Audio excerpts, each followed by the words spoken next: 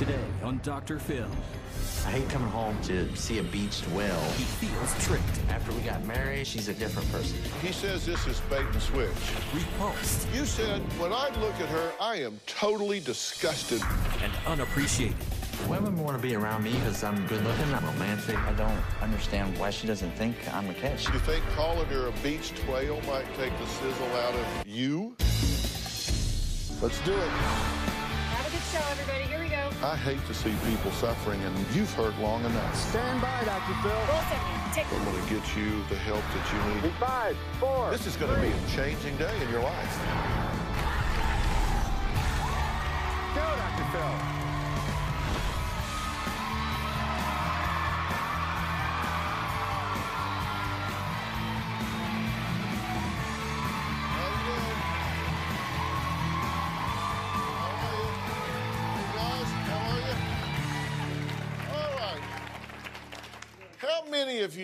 Are married and remember your anniversary date?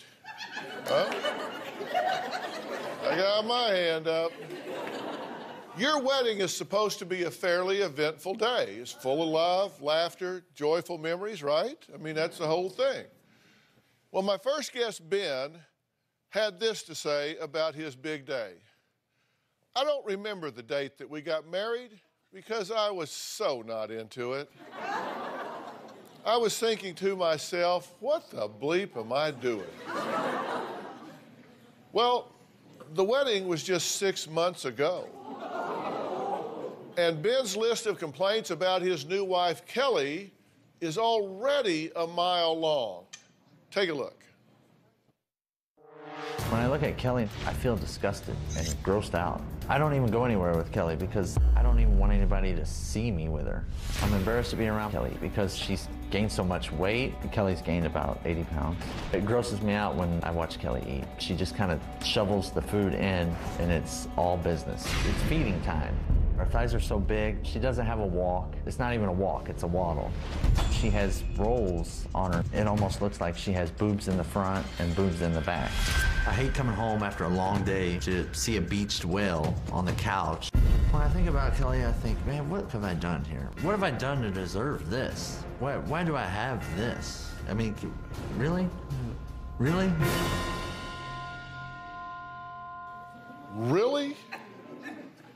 Ben says Kelly pulled a bait and switch after he says she trapped him and forced him into marriage. Now, Ben says after the paperwork was signed, Kelly completely changed and she changed for the worse. Take a look. Before Ben and I were married, he was lots of fun. Kelly was so easygoing and affectionate. After we'd been together six years, I felt it was important to get married because I wanted to set a good example for my son. Kelly told me that if I didn't marry her, she was going to take our son and leave. I did not give Ben an ultimatum about marriage. Our wedding day was absolutely perfect. I was happy, he was happy. I was walking down the aisle when we got married, and I remember thinking to myself, I didn't want to get married. It was a waste to me. Ben and I have been married just about six months. My wife Kelly has pulled a complete bait and switch on me after we've got married. Ben's become a different person. He just seems like I can't ever make him happy. She's become a wet mop, no personality. She doesn't laugh, she doesn't talk, she doesn't do anything. I'm completely miserable. Ben makes me feel worthless. Ben feels that I do not provide for him sexually or emotionally. Ben has said he hates me. He may as well just rip my heart out of my chest. Kelly wants to control and tell me how to do everything. It makes me cringe to refer to Kelly as my wife. I feel like Ben has fallen out of love with me. After being married to Kelly for two months, I started talking to other women online. I found a lady online and I met her. I felt like we really connected. She understood me, I understood her. We had a lot of the same interests. I started thinking about my son. My fear was that Kelly was going to take my son and I was never going to get to see him again. So I completely cut off this other woman. I never spoke to her again. A few days after that, the woman that I'd been talking to online showed up at our house. When I heard the knock on the door, I just thought it was somebody selling Girl Scout cookies. I flipped out and then I closed the door in her face. Kelly freaked out. I was just floored. I have lost all trust with Ben. I blame Kelly for all of this. If she'd been a wife and known how to please a man and take care of a man, I wouldn't have had to explore other possibilities. Ben blaming me for cheating is ridiculous. This is all her fault because she's fake. Kelly was one person when we were dating. After we got married, she's a completely different person. I did what any man would do if he was in my situation. Okay, well, I, I want to ask you why you're putting up with this, but I, I'll get to that in a minute. In the meantime, I want to talk to him. Okay. You know, I think everybody does what they do for a purpose. If you say certain things, you say them because you want a certain result. I, I have some of your quotes. You said, When I look at her, I am totally disgusted by her. I think, This is really my wife? That's a statement of yours. Yes. What is your purpose? She's just not the person that, that I married. She's, That wasn't what I asked you.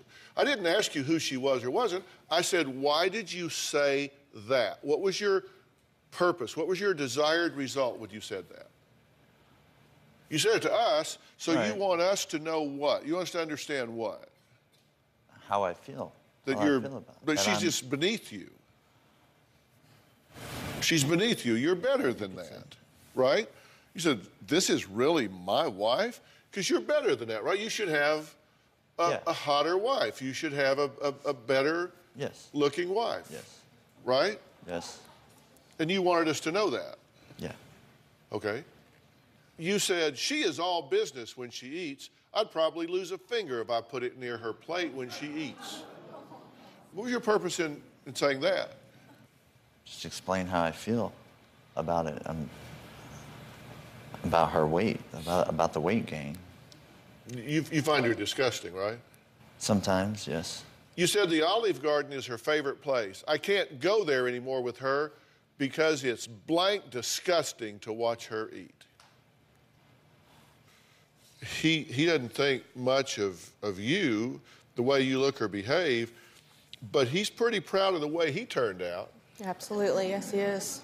He says, I hate coming home to see a beached whale on the couch eating fast food after a long day of spending my money. Charming. It sounds about right, yeah. Yeah. What, um, and I'll, I'll give you some of the statements he said about himself here in just a second. But what do you think about what he's saying about you? It's just pure hate, pure hate. That's there's no other word for it. He says, I think marriage sucks. I would never do it again. If I get divorced, marriage is just horrible. He just felt like we should date for the rest of our lives and raise our son together without any any marriage, any commitment at all. He says this is bait and switch, that you were one way when y'all were dating, that you were fun and that you were energetic and that you liked having sex and all of these things were going on that were positive.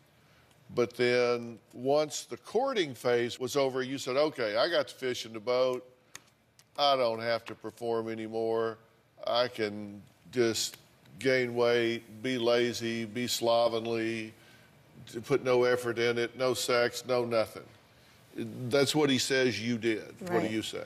I disagree. Um, the weight has changed, yes, but it's also been a product of my son and then additional weight gain from that, not losing it from when I had our son.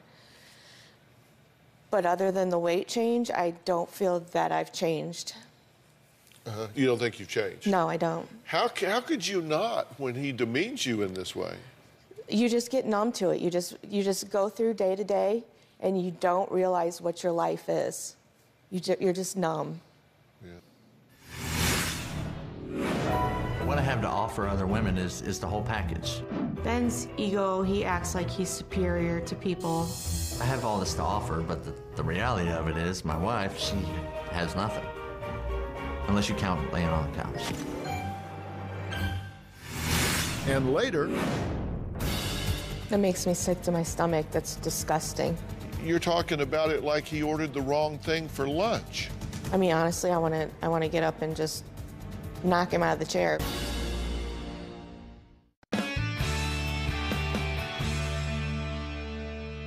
Well, we've heard what he thinks of you. Let's hear what he thinks about himself. Ben says women love him. they do. He, he says they, they, they just love him. Take a look.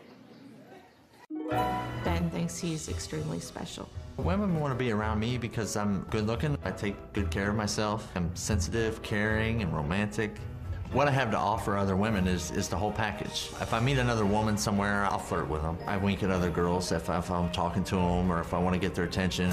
Ben doesn't flirt with women in front of me, but I know behind my back he's a totally different person. I flirted in front of Kelly once, and, and that was a big mistake. So I, I, Ben's ego, he acts like he's superior to people. I have a really high self worth because of who I am. I have this plate that's full of so many delicious things to give to somebody, and you know, here I'm stuck with this cardboard chicken laying on the other plate beside of me. Ben thinks he's better than me and the majority of people. I have all this to offer, but the, the reality of it is, my wife, she has nothing.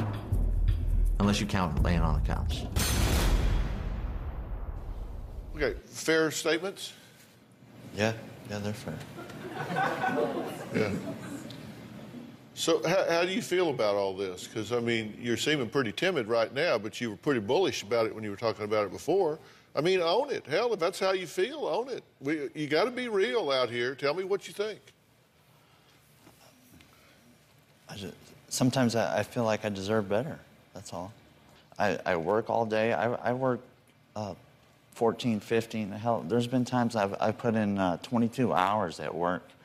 I've come home and, and I get nothing. She, I don't get a hug. I don't get a kiss. I, I've tried talking to you. You won't talk to me. You, you'd rather just go in the other room. I, don't- I don't get it. So, you think you got cheated? In, in a way, yes. I mean, we, we used to be best friends, and, and I, I don't know what happened. We're not. We're, we hate each other now. I, I, don't, I don't know what happened. D- do you hate her? Sometimes, yes. You said, quote, I feel good about myself. No, I feel great about myself. I'm funny, attractive, and people like me. I have a great job, I'm stable, I take care of myself. So you Yes. you you think you're doing a pretty good job. Yes, I think I'm doing a good job. I, I, I, I take care of her. I take care of our son, our family. I provide for our house. I'm, I'm doing. I think I'm doing a great job. Yeah. So you think you're hardworking, Yes, of course. Smart. Yes. attractive, charming. Yes. Do you think you're a mental and emotional cripple? Uh, yes. Yeah, I do sometimes. Because I wonder if if you're so smart and charming and charismatic and all of that, why is this relationship in such a ditch? I, d- I don't know. I, I've tried to figure that out myself. Well, but it I've- I've- doesn't. I've- it's not consistent with what you're saying because you're such a catch. You would think that she would be highly motivated to make you happy and be with you and all of that. Yes. So how does that compute? Let, let's let's figure that one out. I, I, I don't understand why she doesn't. Uh, why she doesn't think I'm a catch. She doesn't think that I'm anything. She never has. Yeah. In the beginning, she did, and, we were. It was great. And then you think something calling her a somewhere. beach twale might kind of take the sizzle out of the? Yeah. You think it might kind of take the sizzle out of you? Yeah. And you gained some weight when you had the baby, right? Yes, Yeah. Whose baby did you have, by the way? his. His. You you didn't have the baby. She She did. Yes. she had it. But it was your baby. Yes. You used to be a little on the chunky side yourself, didn't you? Yes. Yes, it did. Yeah. Did you know her then? Yes. Yeah. Yeah. Did you tell him what a no good, slovenly, worthless human beach whale he was? Never. Never. Didn't? No, you did tell me I was overweight. I don't believe You that You did. it You did. You told me several times that you thought I was overweight. Did she tell you that you were so disgusting that she could not watch you shove food in your mouth? No. No, she never said that. Yeah. Do you think you make people better by telling them how horrible they are? No, not at No, all. I mean seriously, I'm just No, not asking at you. all. I, I just grew up in athletics. I kind of think about things in that way, and I, you know, I, I never had a coach in the middle of a big game when it's time for me to make a big play to call timeout and call me over there and say, "Just wanted you to know you're a worthless piece of." okay, I just I wanted you to know that. McGraw, before you get back in there and run this play, I, I just I just wanted you to know that you are worthless. You are like gum on my shoe. You're not worthy of wearing that jersey. You're not worthy of being on that team. Now, get out there. Let, let's, let's, let's see what you do, you slime bucket. Get out there. Exactly what it I mean, is did, right did- there. is that did you? Is that the way they coached you? Is that the way they inspired you? No, not is that at the way they motivated you? What the hell are you thinking? What's the matter with you?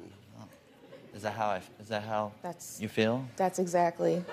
You think I do? That's how I do. I Yeah, treat you come home, you, you complain, whether it's whether I cooked dinner, whether I didn't cook dinner, whether I cooked chicken, whether I cooked steak. uh, Regardless, if I'm sitting on the couch, if I'm vacuuming at the moment, I mean, there's always a complaint. Well, we have to take a break, and I, I don't know what I'm going to do because I'm not very smart and I don't have any motivation, and I don't know. I guess we'll just come back and see what happens.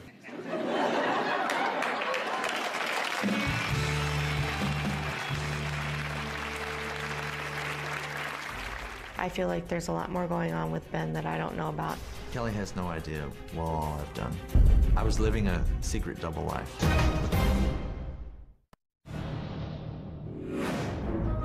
My eyes, the ideal woman, she can stand on her own, she's independent, she's stable, is a great mother, is loving and caring. She knows how to please her man. She knows how to take care of him. Take all of that and put it in with the, like the body of Britney Spears. Not only would that be ideal, but that would just be absolutely perfect.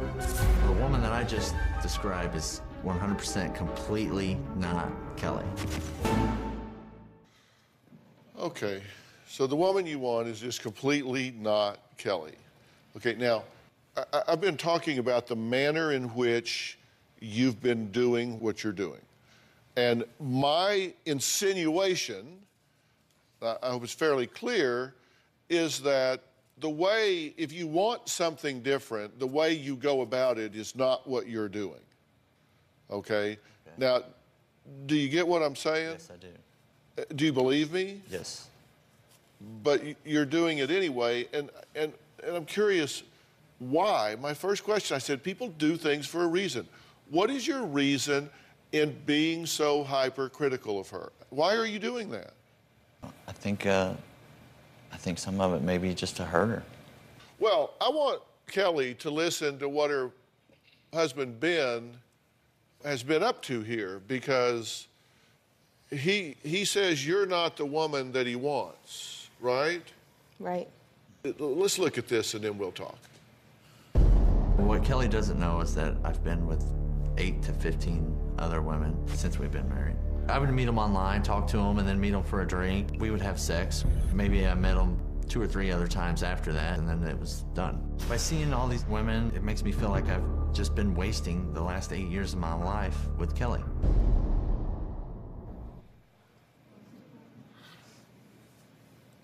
What's your reaction to that? That makes me sick to my stomach. That's disgusting. An estimated made it 8 to 15. That's disgusting.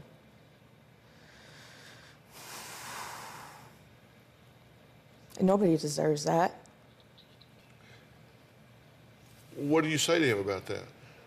I don't understand how you can come home and do that and look at me and look at your son and look at yourself in the mirror and just you run around like like everything's normal and okay and like you, you don't have a conscience.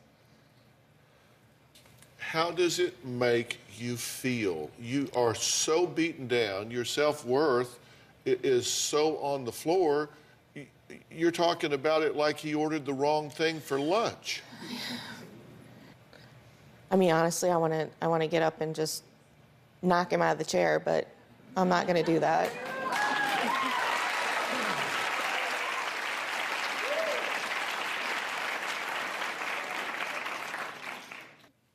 How do, how do you feel about it? I feel ashamed about it. I, I feel I- I don't believe that. I do. I I think you're ashamed that you're getting focused on right now for it, but I don't think you're ashamed that you're doing it.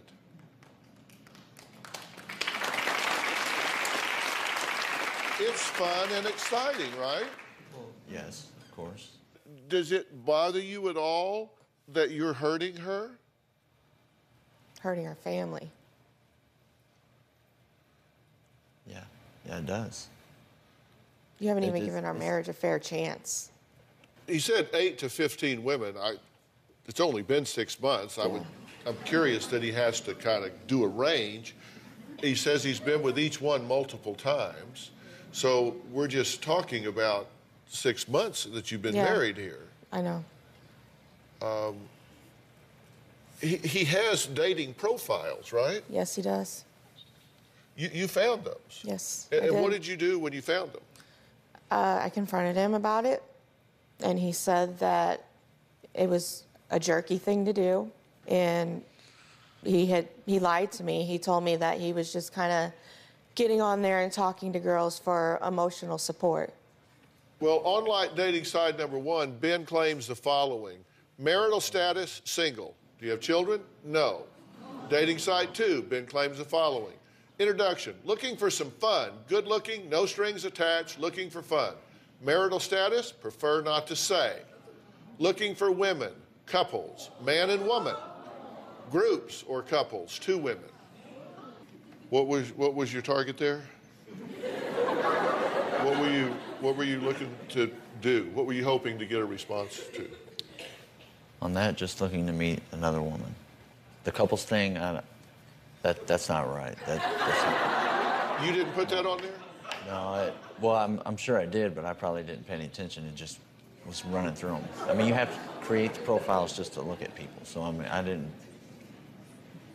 You just didn't- accidentally didn't put too much into it. You just accidentally checked couples, man, woman, groups, or couples.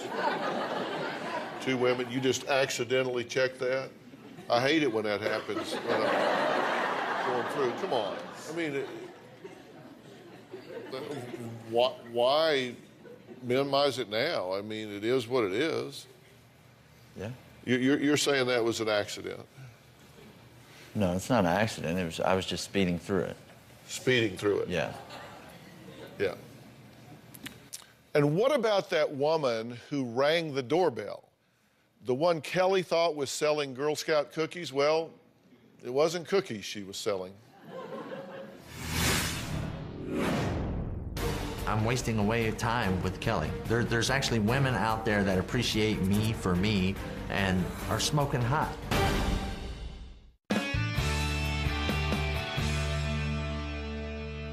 Three weeks ago, Kelly found out Ben was talking to another woman he had met online when she showed up on their doorstep. Now, just last night, when Ben realized he was going to have to come to the show and talk to me, he decided to tell Kelly the whole truth about that particular woman. What Ben told me about the girl that was at the front door was that he had only met her a couple times with friends at a bar and there was nothing more. What Kelly doesn't know is that the girl that came to the door, we were actually dating. We would see each other probably twice a week for six weeks. We would have sex, and it was incredible. She was giving me everything that Kelly wasn't giving me. It felt like somebody cared about me. The truth is, we had a relationship. I had feelings for her, and, and she had feelings for me too. What I also realized by being with this other woman is oh my God, there's other women out there that I'm attracted to physically and mentally, and I'm wasting away time with Kelly. There, there's actually women out there that appreciate me for me and are smoking hot.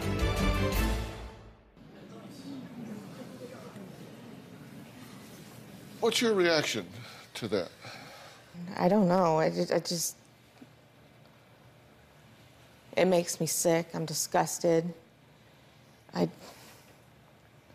He keeps making this big ordeal about my weight. And I mean, since our marriage, it's maybe gone up 10 pounds. It's not that big of a change since when we beginning to date. Yeah, it's changed, but he has a lack of respect for me. He has a lack of respect for himself, a lack of respect for his son. That's not true. That is true. It's not true. How is that not true? I don't. It, I have complete respect for our son. Do you fight in front of your son? Yes. Uh-huh. Are you turning away from your wife to someone else in this marriage and thereby putting your son's base of operations in jeopardy so you can be with women that you think are hot, that tell you what you want to hear? Are you doing that? Yes. That's how much you respect your son, right? Did I get that right? If I run a red light here, stop me. No, you. You got it. Well, here's what he wants you to do. This is what he wants you to do in order to stay in the marriage. He wants you to drop at least 50 pounds. 100 would be better. He wants you to stop wearing sweatpants, be more concerned with your appearance, wants you to be more exciting during sex, and also do it more frequently. Be more affectionate and caring, have conversations during meals instead of focusing on eating, spend more time playing in the yard with Ben and the son, adopt a more active lifestyle, take walks, ride bikes with Ben and son, be financially independent, be an equal partner. He wants you to be happy to see him when he gets home. I guess from these other women. Make more delicious dinners and cook more frequently. He wants you to help make sure he gets up for work on time and stop bossing him around. Now, you know, the, the truth is that many of the things that you have on the list there would be goals for betterment. There would- there would be legitimate goals for betterment. Yes. Be a reasonable question. to say, you know, take better care of yourself, have a return to health, you know, take pride in yourself, commit to the marriage, get involved. All of those things are all, uh, you know, that would be le- legitimate objectives for the two of you to come to together. I, I don't have a problem with some of those things. What, what do you think? I think that's right. I, I, a lot of things that I want is just for the betterment of us and, and our son and our house, you know, our, our, our whole- family. That, That's what I want. So you want legitimate things in some regards. Yes. Mm-hmm. But do you acknowledge that you're going about them in a really illegitimate way? Yes. Yes, I do. And I keep asking you why, and you keep not telling me. Do you want out of this? Well, I just want you to love me, Kelly. You haven't loved me in a long, long time. You got women knocking on your door. How do you bounce back from that? I don't think you can. I have a list of things that Kelly needs to change. Kelly needs to be more affectionate, more caring. She's just got to be a better person. Ben needs to take responsibility for the damage he's done in this relationship. Kelly needs to be way more attractive. Kelly needs to lose at least 50 pounds, but 100 pounds would be ideal. What I really need for Ben is to accept me for who I am and not treat me like I'm just a disposable person in his life. We need to have sex more than once a month. We need to have sex like four times a week. I need Ben to support me emotionally. If nothing changes immediately after being on the show, I will file for divorce. Ben feels like he's done nothing wrong. From my point of view, I'm, I'm good. I don't, I don't need to change. It's, it's Kelly that needs to change.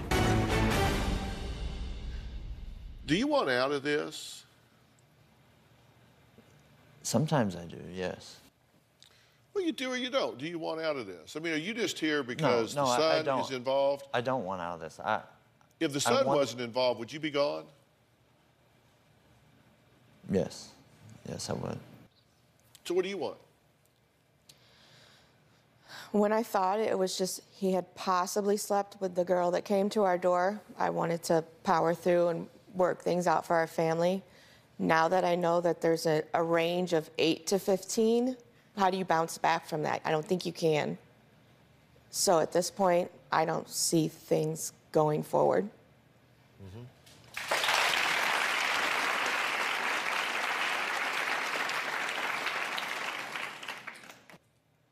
If if you just read his list, you know, uh, uh, some of these things you could each say about the other, and you would say those are reasonable objectives for a marriage. Yes. But then you mix in the fact that you're saying the things that you're saying to her and about her. That constitutes, without question, verbal and mental abuse. Then you add to the fact that you got women knocking on your door that you've had a sexual relationship with and an emotional relationship with, and that's one of over a dozen. That kind of um, throws things into a bit of a quandary, doesn't it? Yes. I just, I just want you to love me, Kelly. You haven't loved me in a long, long time. What happened? What stopped? Cheating. No, before that. Before that. It's the constant. It stops. It stops before. No, it's the constant beat downs and, and letting me know that I'm doing everything wrong constantly. Nothing's ever good enough. Do you have any level of insight into your ownership here? No, no. So you think everything that you've done is in reaction to her shortcomings and therefore justified? That she's driven you to these other women. She's driven that. you to be hypercritical. She's driven you to this level of frustration where anybody would react the way that you're reacting. Is that Yeah, how you that- see that's, it? that's, that's what I said, yeah. Where, where, where do you find these girls, by the way, these 8 to 15 women? All, all over. D- do they know you're married? No. So you're lying to them. Yes. If you're lying to her and you're lying to them, what makes you think you're not lying to yourself? I don't know. I- Well, our tweet people are um, interested here. Marianne says, Wow, you are the hottest man I have ever seen. Said nobody watching this. Uh, Janet Fuller said, I wish this man was half as good looking as he thinks he is. Tina M. Cummings says, she could lose over 100 pounds easily. Just dump him and flush.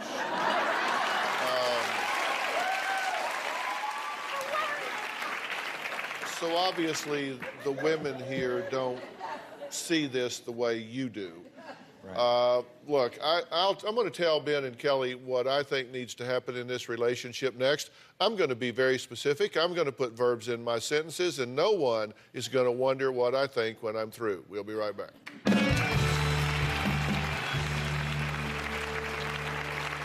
I feel like Kelly's using me.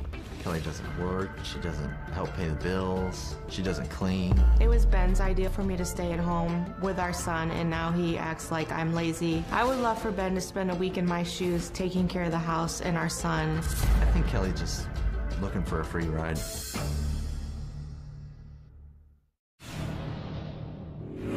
Kelly and I argue a lot here recently in front of her son. I try, I try not to, but she has no self-control. Next thing I know is she's yelling and screaming cuss words at the top of her lung in front of her son.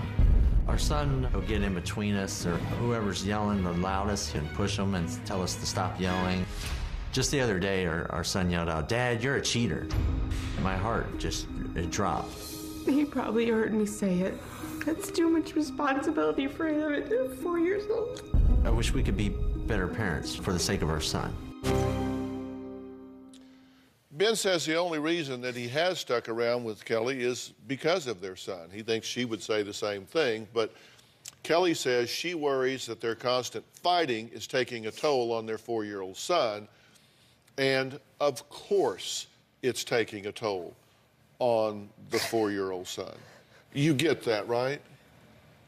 That's why children have often said they'd rather be from a broken home than live in one because of all of the turmoil and the emotional barren nature of what's going on.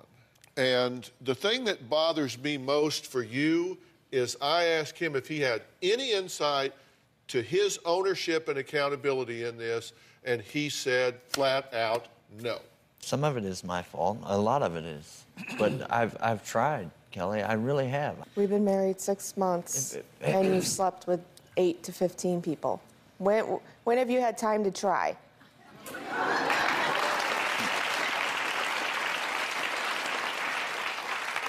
I'm looking at you and and and and you're shaking your head like th- th- these people just don't get it. They just don't get. They just don't get it. I have tried to talk to her. I mean, they're talking about the things that I've said. That okay, I probably shouldn't have said those things, but aside from that, I've tried to talk to her. I've said, "Come on, let's do better. Come on, let's do this. Let's do this. Let's do this." And they just don't seem to get that. Dr. Phil's missing that. The audience is missing that. Everybody's missing that. This isn't me, it's her. She won't do anything. If she would just try, it would be better, right? Right? Yeah, that's Am what I, I'm. That's that's am what I I've reading been coming right? off. Yeah. Am I reading you right? That's You how are, you you feel. are. That's how you feel. Okay, give me her point of view right quick. You are Kelly. Tell me Kelly's point of view. He's beating me down. He, he's he's a liar, a cheater. Go He's, ahead. he's ruining our ruin our ruining our family. He's a piece of. Go ahead, keep going.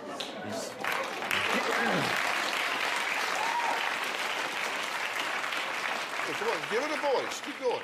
You're her. Keep going. He is. he's hurtful. He's mean. He's spiteful. He doesn't care. He doesn't have any feeling.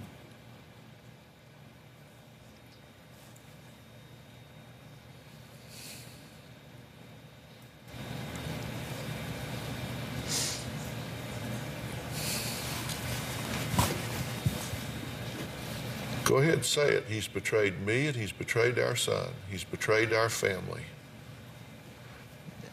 I betrayed everybody.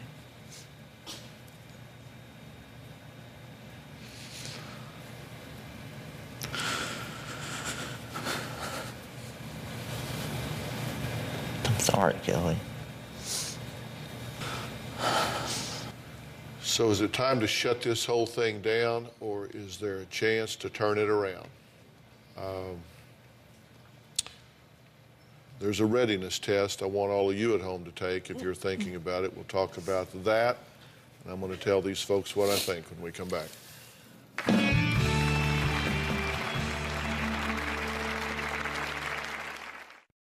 Kelly, um,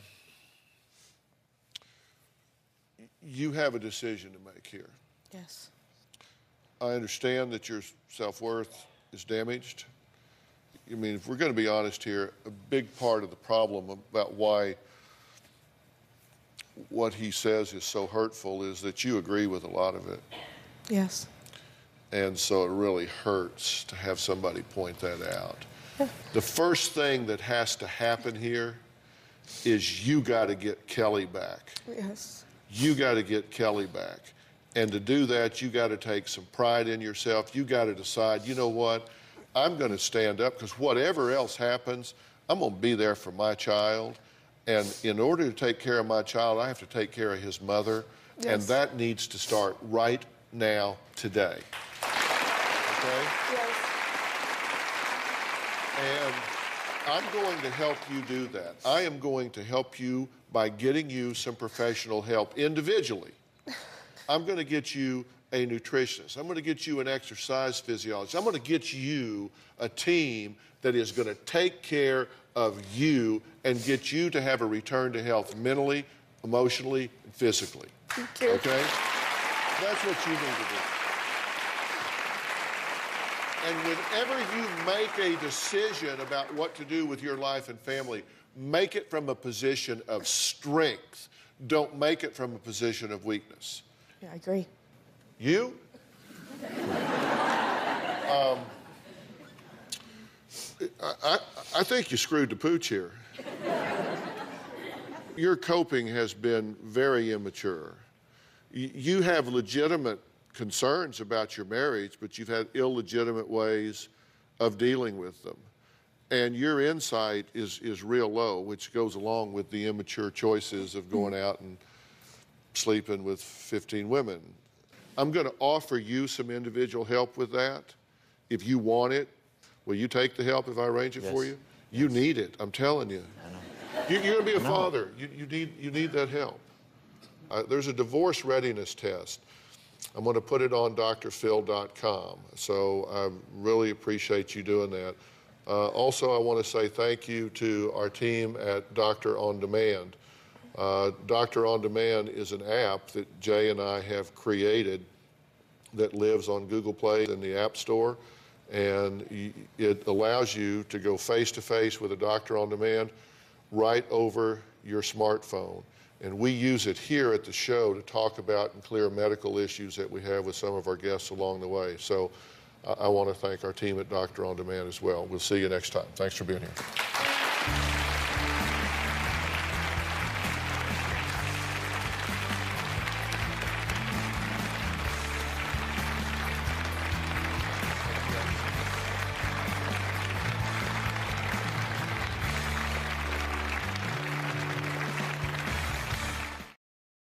Today on Dr. Phil.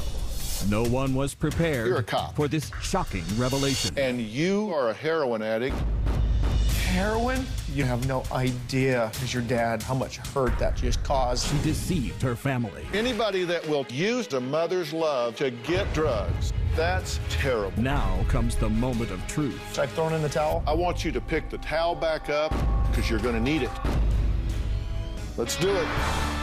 If we're going to do something here that matters, then we got to deal with the truth. Have a good show, everybody. Here we go. If I can help get this family back on track, are you willing to do that? Ready, three, take. This is going to be a changing day in your life.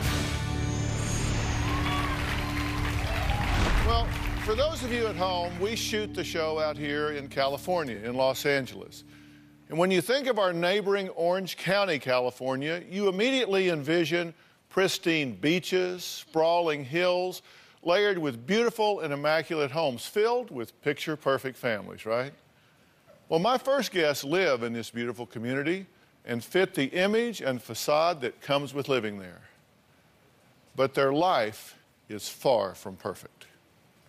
If you were to see the way we live, you would think that our lives were pretty much perfect. From the outside, we look pretty much like the perfect family.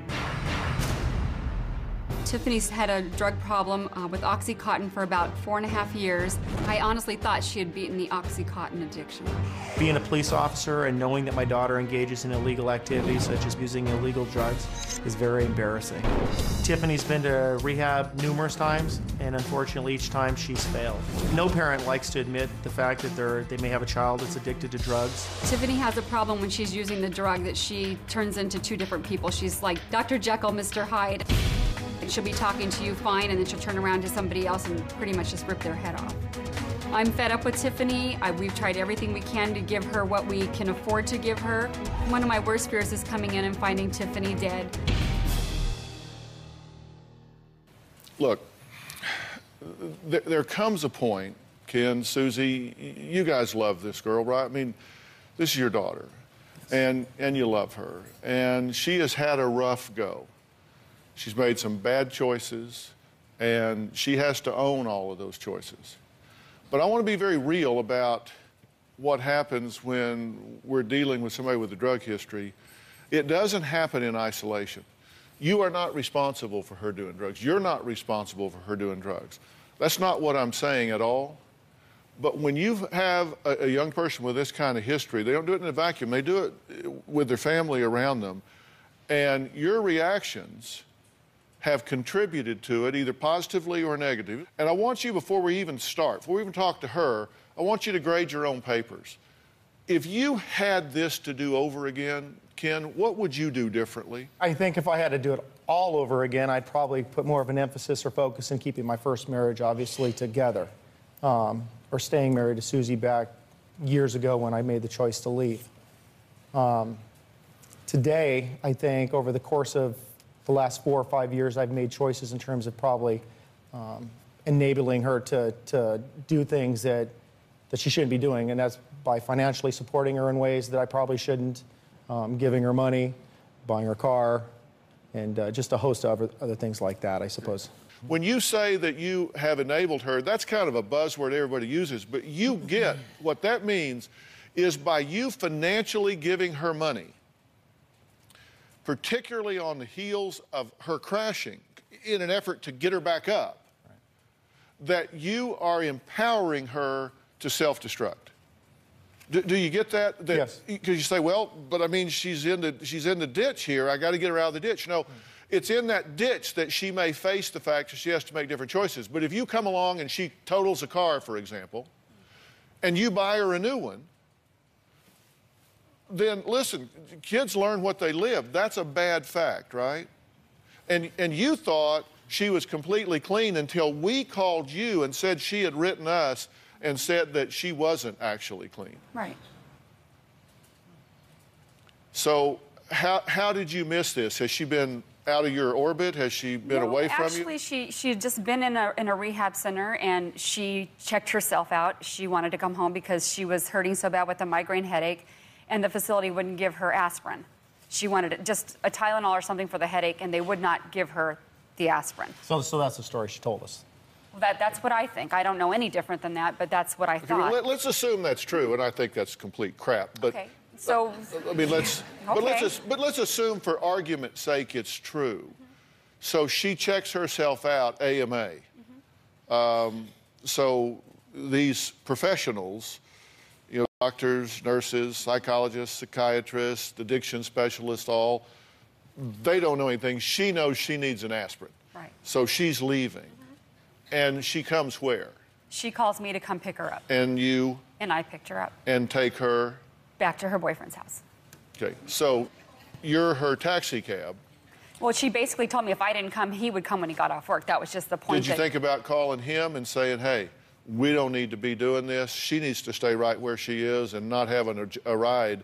This, this crisis may pass. No, I'm sorry, I didn't think about Okay, that. and, and listen, I, I, I get it. I'm a parent and now a grandparent, and I, I get how hard it is, which is why I'm talking to you first. Ken, Sure. you say you've gone into $40,000 debt for things, knowing that she was an addict. Uh, 15,000 on dental school after she left rehab the first time, right? She's never completed a rehab, right? She's left early. Okay, car accident. You suspected drug use, and I think that would be a pretty good guess. And she totaled the car, Yes, sir. um, so there's a good chance she was driving under the influence. Yes. Fortunately, she didn't kill herself or anybody else, Yes. but she totaled the car, yes. and so you just bought her a new one. Yes. You know, when you hear it like that, it sounds. When you put it in, you It connect does, the dots. even, even with the headache thing, you know what? I never, I never doubted her for a second. I really, I didn't. I didn't. Yeah, that's why we're talking. Mm-hmm. Yeah, because I, I can tell you when she's lying, it's when her lips are moving. I moving. know that. Okay. I know. Now, she was going to be prosecuted for writing bad checks, so you bailed her out. Right? Yes. And what do you suppose she was doing that money she's writing bad checks for? Yeah. Yeah. Okay. You still financially support a car insurance, cell phone, health insurance. I mean, all, all of these things. And then she comes and says, you know, I need money for hair and nails and that sort of thing, and you give it to her. That's what I mean. Enabling's kind of a, you know, it doesn't sound real bad. You say it real fast. But what it actually amounts to is you've got somebody out here that is on self destruct. Right. And in order to continue that self destruction, she needs funding. And so y'all make sure she has it. And I have to tell you, that is no different than if you went and bought it for her and gave it to her. Because that's what you're doing. You're, you're just not doing the pickup, but you're doing the financing. And she calls you out of rehab and says, Come get me. Mom, come on. Why do you suppose she called you? Because she knew I'd come and get her. You reckon that she's learned that she's got you under control. You will, you will do what she wants you to do. Absolutely. So that has to change. There's nothing that I can do to help your daughter, who we're going to meet here in a minute. There's nothing I can do to help her if you guys continue to do what you're doing. If you do what you're doing, I'm, I might as well thank you for coming, wish you the best, refer you to a, a good funeral home, and sends you on your way because she will die and you will be guilty in your own minds and hearts for the rest of your life simply because we've had this one conversation. You didn't choose the drugs, But you're either going to be part of the problem or part of the solution. I want you to be part of the solution. We'll meet Tiffany after the break.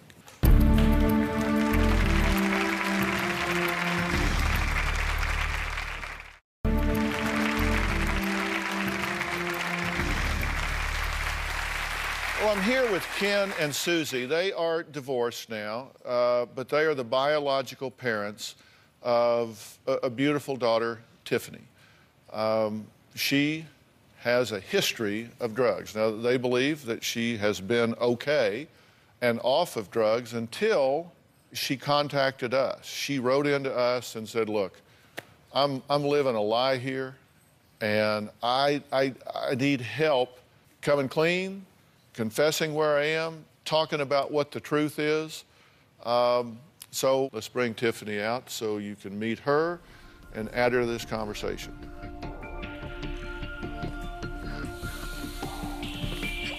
Tiffany, Dr. Phil, how are you? Have a seat right here. Um, you wrote me a letter. Why now? Why me? Um,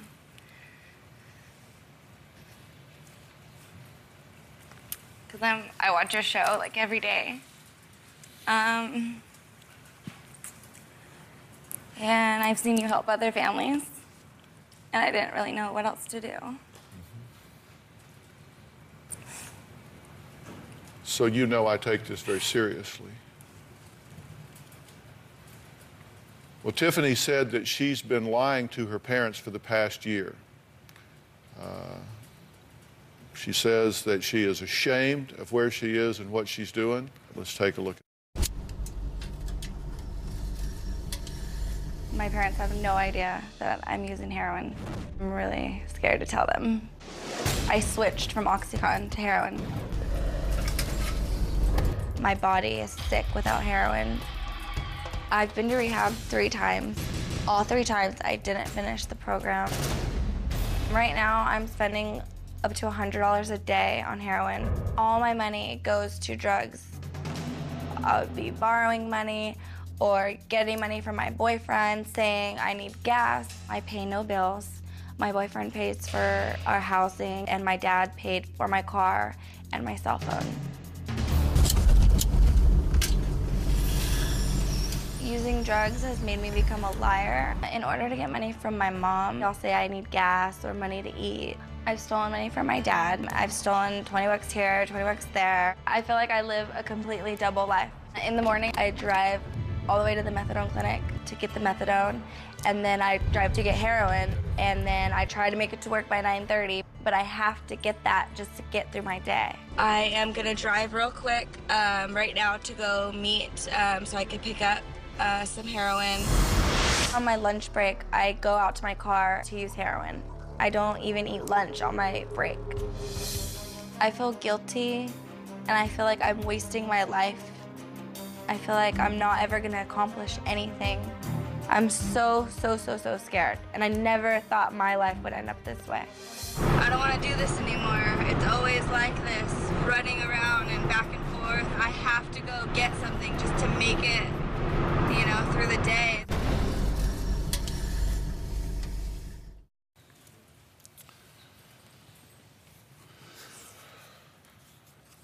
So, Dad, share what's in your heart.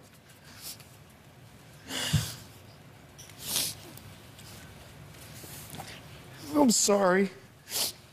Really? I can't even talk.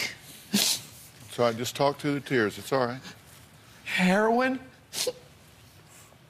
Oh man. I don't know I don't know what to say. Honey, that just that just you have no idea as your dad what, what that makes me feel. Or how much hurt that that, that just that, that just caused. You know, and some of the things that you just said regarding your stealing and, and, and doing what you're doing on your lunches. Just living a lie like that. But half the time in the morning when I go, I just do it to feel normal. Like, it's not fun anymore. It's not. Like, People think like, oh, doing drugs, fun, friends, partying. It's not. It's my survival. It's to function. It's to feel normal, to go be able to take a shower and to go to work and make it through the day without being really, really sick.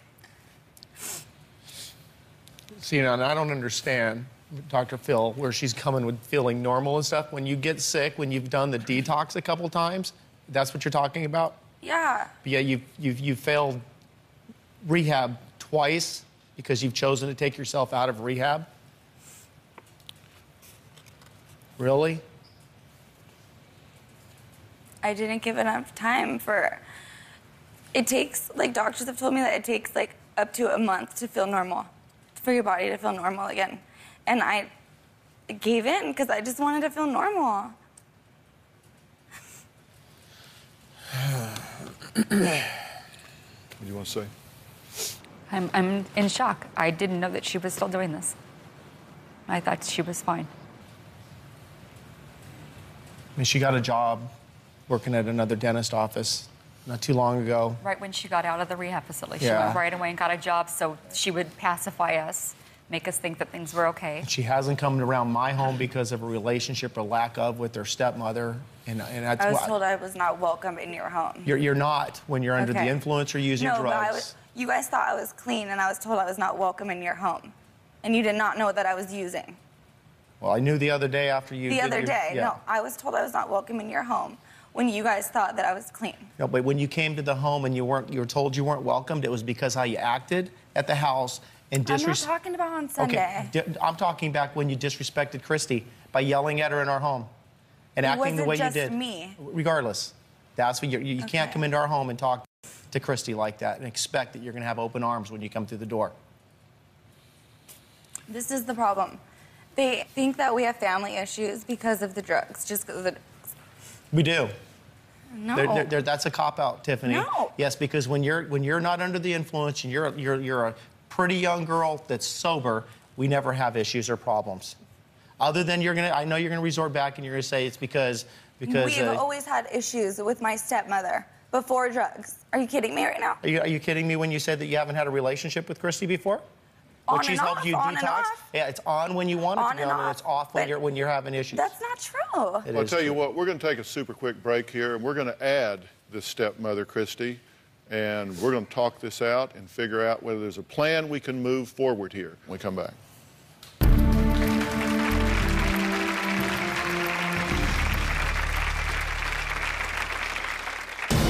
I definitely think my stepmom uses my drug use to keep me out of the family. Grow up, Tiffany. If you're not going to care for yourself, then no one's going to care for you. I feel like my dad chooses my stepmom and my half brother over me all the time because he got remarried. And even before I was on drugs, they never would call me. Unfortunately, because of the drugs, we don't have a relationship like we should have. I lived with my dad for a little while. He basically just said, you know, the only way you can live here is if you're clean. He would drug test me. So he knew, and he kicked me out. Tiffany's addiction has had a major impact on my relationship with my current wife. It says on this page that I'm supposed to, at this age, give her a car and pay her cell phone and pay her insurance and make sure she has money in her pocket all the time. My dad tells me all the time, oh, you need to be stronger, and what you're doing is stupid, and you're just weak minded. I love Tiffany like no tomorrow, but I don't want her in my home unless she's clean and sober. She needs to be locked down. She needs to be taken away from her friends and deal with her issues. Well, Tiffany's stepmother, Christy, says she does not want Tiffany in her family's life and says, and I quote, it's a sigh of relief knowing Tiffany is not walking through my door to visit. Take a look. Me and my stepmom do not get along at all. I feel like my dad has changed so much. My stepmom has changed him. It makes me hate her.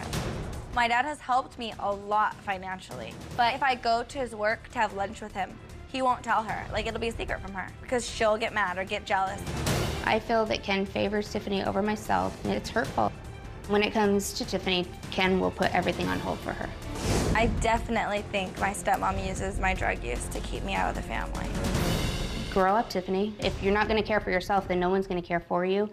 I believe in tough love, and she doesn't like that at all. I think Tiffany has been at the point where she will pretty much do anything that she needs to do to get her drug. Yeah, hate's a big word. You just said, I hate my stepmother.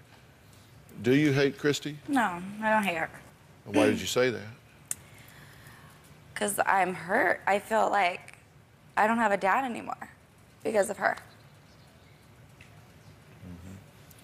Christy, what do you think about the relationship you have with Tiffany? Is it strained? Yes. You- You're, you're happier when she's not there because of what she brings, what Yes. she introduces, and what is that? This is the thing. Hey, let me ask Christy, what, what, what does she bring into your home that makes you glad when she's not there? Um, just Ken and I will argue and fight, um, negative. Um, it's just not a happy, for the most part, it has not been a happy situation when she's around.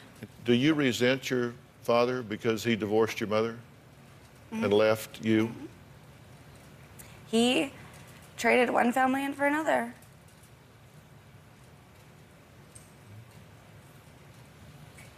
Even before my drugs, she has said, I am jealous of you and your father's relationship because me and my dad weren't close growing up. This was when I was like 14. No drugs. Okay. So we were close. Like I was the only girl. We have a different. We're gonna have a different relationship than him and my brothers. It's different, you know. And she's always said that she's jealous of that. If I go have lunch with him, he can't tell her. One time, I was getting my nails done and he was with me, and he got a pedicure, and he couldn't tell her. Why It's- is that? it's- it's not that I can't- No, it's not that I can't tell her. You, She- you can, she but will- it'll spark a fight, It, she, and it you avoid the fight. Because she brings up valid concerns or issues about you when we're together. My giving you money, did, did you give her money? And, and you're right, I, I have sometimes not been honest with, with, with my wife, Christy, because of our relationship. And I, and I, and I again, apologize. She, she knows. I've, I've given things to you that I really shouldn't do. Both your mom and, and Christy have said, you know, why? Why, but why, why are you doing these things for her? That she can be like, oh, I believe in tough love. Like, I, love, obviously, like- she's got she's she's been Uh, right though. okay. I mean, but it's like, I feel like I have a mom, I have a dad. Like, I don't need another tough person on my case every day. Like, well, well. you can be my stepmom, and she's like, I want to be your friend. like, problem is, is we haven't been, but- been as tough as Christy. No, but I'm not gonna. I'm. Our with our relationship, how it is, like I didn't grow up with a stepmom, like knowing, like, oh, my my second mom. Like it wasn't like that. She came into my life, and I was like, oh, say hi to your new mom. Like, my dad told me, I'll never get remarried. I'll I'll make sure that you guys like say it's okay and like her and approve. And you went and got engaged and didn't tell us. Okay? I remember. We're engaged, coming home. Okay, she got pregnant. The way I found out, um, I'm sleeping and my dad comes and wakes me up. And he, this is when I was like 12, thir- 13, 14, I don't know. Hey, by the way, her family's coming over today, so just a heads up, she's pregnant. Like, are you kidding me? I honestly don't remember that. You don't remember anything though. I do, and it hurts. You don't remember nothing. Is that your theory of why you've chosen to uh, medicate yourself? No, I don't blame that on anybody. What do you blame it on? Because that's what we're talking Yeah. about here. The It's fact just- is, you are a heroin addict, and you did heroin today, correct? This morning. You've done heroin this morning before you came here. I'll be right back.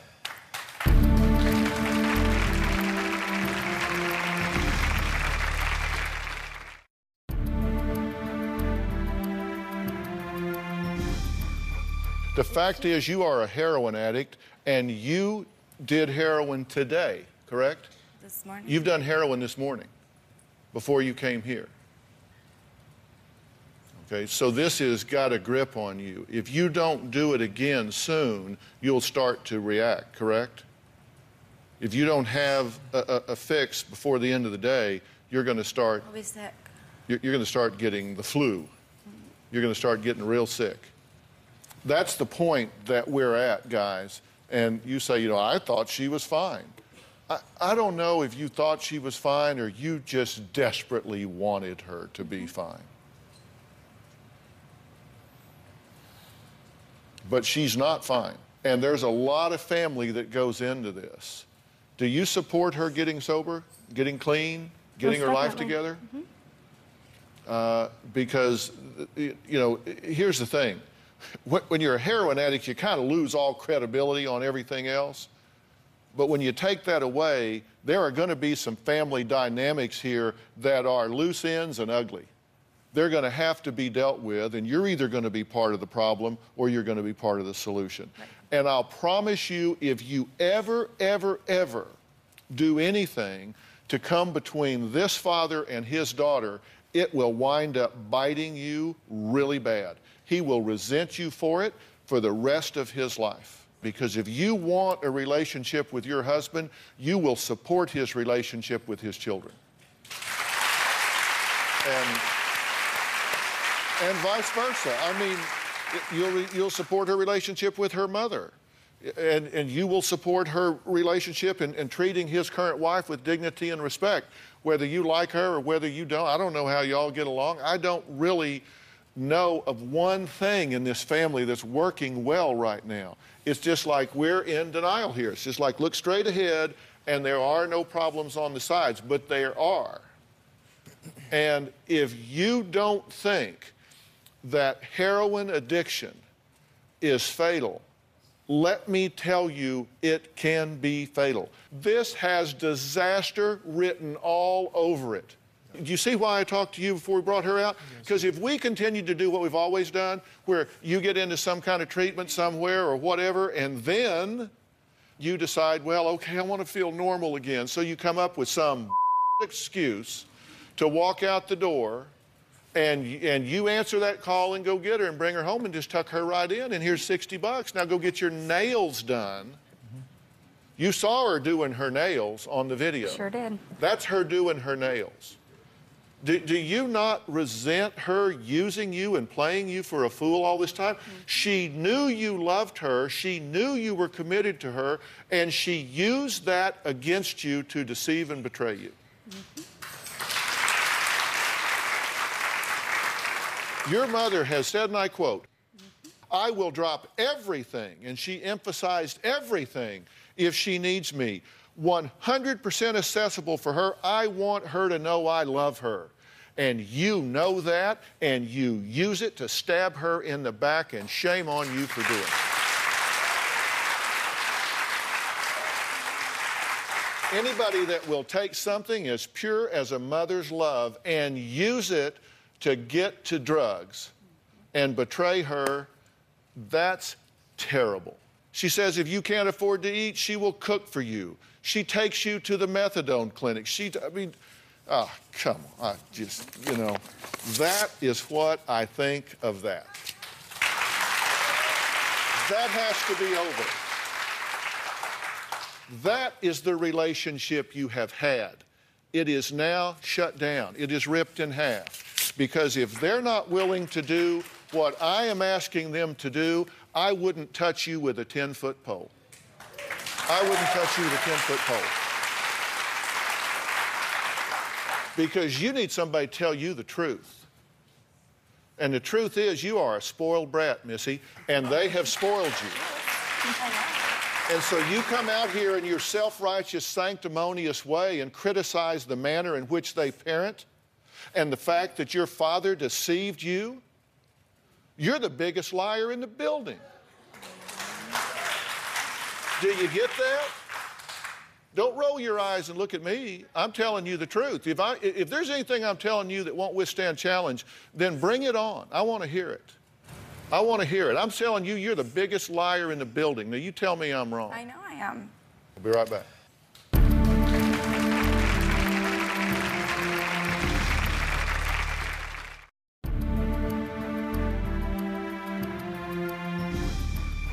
You're the biggest liar in the building. Do you get that? Don't roll your eyes and look at me. I'm telling you the truth. If, I, if there's anything I'm telling you that won't withstand challenge, then bring it on. I want to hear it. I want to hear it. I'm telling you, you're the biggest liar in the building. Now, you tell me I'm wrong. I know I am. Well, then why are you rolling your eyes like some I looked at my entitled little brat? I wasn't rolling my eyes. Oh, okay. Does it seem like I know an awful lot about y'all's family? Sure does. Do you, do you know why I do? There are two reasons I know. One is y'all have been very candid and forthcoming.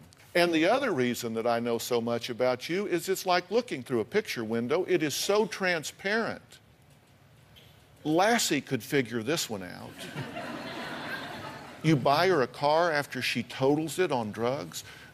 Dad, I, come on. You, you've got to know when you look at that 2020 hindsight, as they always say, you look back at that, you think, you know what, I just loaded the gun and gave it right back to her, right? Yeah. Um, you know, I, I, I don't have any excuse for it other than, you know, You she's, don't, you don't need one. yeah. What you need, you don't need an excuse because you love her. I get that. I, I do. And, and I, I respect y'all as parents. I do. Which may sound funny because I'm saying you're doing so much wrong, but your intention is good. But you are so misguided. And do you see, no matter what I was to do with her, if you continue to, oh, I'm accessible 100%, just call me. I'll pick you up. Hungry? Let me fix you something. Here's 60 bucks. You know, go do this. Need a new car? Here you go. No problem. Steal from me? I'll look the other way. Th- there would be no reason in the world for me to do it. Right. You, see, I take a very different approach to this than you do. My approach is that you call a spade a damn shovel. And I'm saying that this is a spoiled, entitled heroin addict that expects you to bail her out and, and let her abuse herself in a way that mm-hmm. i- is, is life threatening. That can't happen. It cannot happen. And if you can't come over to my side in the way this is handled, then there's no pointing us going forward. And we're there. Trust me. On your side. Th- th- This is this. Don't know what else to do, Dr. Phil. That's why I'm here. I, I mean, I, I think I mentioned I've thrown in the towel. I don't, I don't know what else to do for my daughter. I want you to pick the towel back up and put it around your neck because you're going to need it. You're going to need it. I, I need you. I need. You're a cop. Yes, sir. I need you to bring the professional skepticism to this that you would if you picked up one of these people's kids. And you know what? If you love her, and I know that you do, So and no- I there's no believe that you do as well. I think you've come to know this child, and I think you love her. She needs to know that this is the last time around the track, that you're not going to do this with her anymore. Right. And so I'm going to tell you what I'm going to do. I, I, I'm going to I'm going to dismiss y'all right now. I, want you guys to go back to the green room without me. And I want you to have a conversation among yourselves back there. And you're either going to come back out here and tell me that everybody's on the same page here. No more coddling this kid. She goes where she needs to go for however long she needs to go, and she has to do whatever she has to do. And let me tell you something it ain't some 28 day wonder.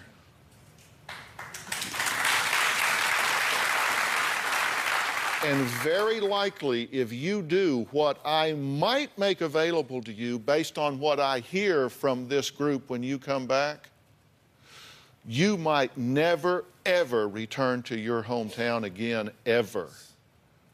Because that's where you do drugs. That's where you get the stuff. That's where your triggers are. That's where it happens. I'm talking about, we're not going to do this just to kind of fill the square and make nice television. I'm saying you may wind up living in Eugene, Oregon or Paris, France, I don't know, but you won't be back where you threaten your own life with drugs every day. Your life as you know it is going to change dramatically, or I want no part of this. I want no part of this if we're not going all the way. And I, so, you guys, I'm not going to waste the resources. I want you guys to go back. Bones, AJ, I want to take these guys back. We will shut this show down and let you speak as a family. And we're just going to take a big long break until you get back.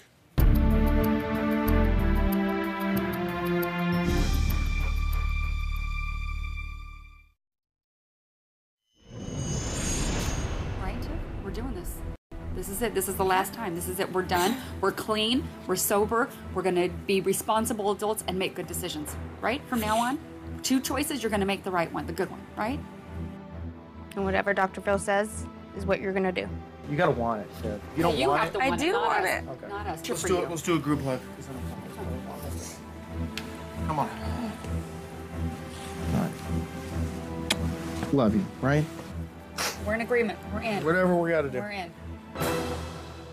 We're back. You've just been watching a couple of commercial messages for a few minutes, but we've actually been gone a pretty good while because I asked Tiffany, her biological parents Ken and Susie, and stepmother Christy to go backstage and discuss whether or not they are ready, not just as uh, Tiffany, but as a family unit to do what has to happen to really give Tiffany a chance to get clean and sober once and for all.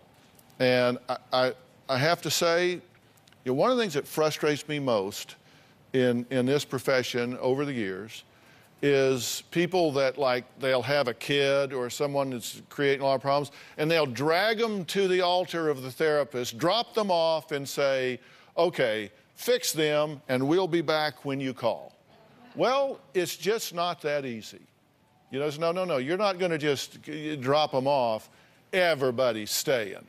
Everybody's staying because there's, a, there's more to it than just her. You're the squeaky wheel, you're making the noise, but it's about everybody. So I ask you guys to go back and sit down and see if you could redefine a family dynamic here because I can't do this if y'all are going to sabotage me.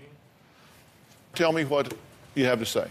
We're hopeful you can give us some guidance or, or put us on a path to what, whatever we need to do to, to save our daughter. And um, she wholeheartedly has shared with us that, that she wants help. I'm just, just pleased to know that she is, is still reaching out for some, some help. And, and us as a family, we want, we want her here. And, and I feel, I'm to go, and you, you've, you've enlightened me a lot on, on some of the, the things that I've done that I've, I've recognized that I guess I've, the car and the, the monies and, and all those things. I think uh, um, we're going to come to grips with that as well. Now, I want you to look me in the eye and tell me, I, I said I was 100% accessible to her. Oh, 110% I'm doing this. She's, she's done. You, you get it. I You're get it. tired of being it. Mm-hmm. used. You're tired of being manipulated. You're Done. tired of her using your love as a mother against you. Done. You're, you're done. Done. No cars, no money, no Done. excuses. You're Nope. through parenting out of guilt. She can live under a bridge. Because you've been parenting from guilt. Done. You're behind this 100%. Yes, You want to do this? I do. There's no leaving this time. You start making noise about leaving, we'll get a 5150 commitment, put your ass right back where you were. and you understand that they're now on my side, Yep. and I'm on your side. So we're all pulling for you.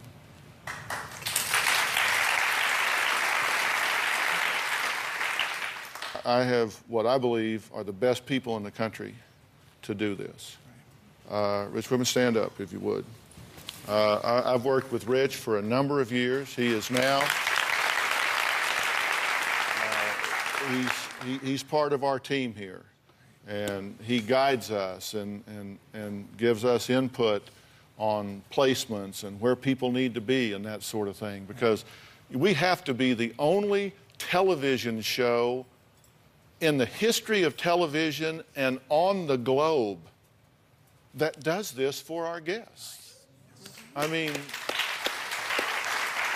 we, we have a, a 100% resource program. Whoever comes on, to, on our show, I'm never under the impression that I'm doing eight minute cures up here. Mm-hmm. I don't think I've cured your family dynamic. What I've tried to do is be a, a compass for you, an emotional compass that gives you a wake up call gets your attention and points you in the right direction. And then I'm going to provide, through their help, resources to empower you as a family to be a positive instead of a negative in this. So you're going to have to do a lot of work in her absence.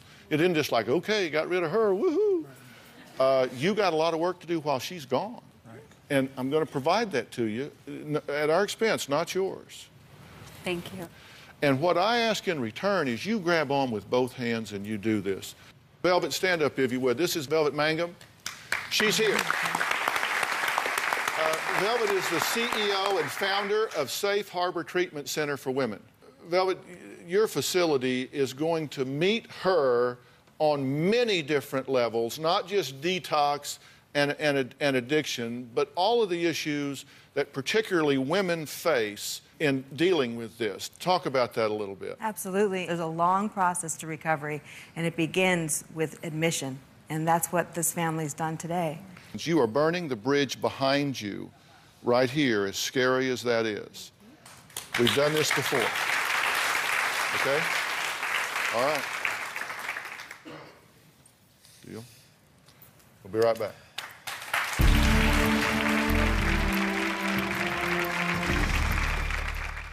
I want to thank all of my guests today, and a very special thanks to Safe Harbor Treatment Center for Women and on site workshops. I, I really appreciate the skill that they bring to this. Look, drug addiction is a disease, but it can be controlled, it can be managed.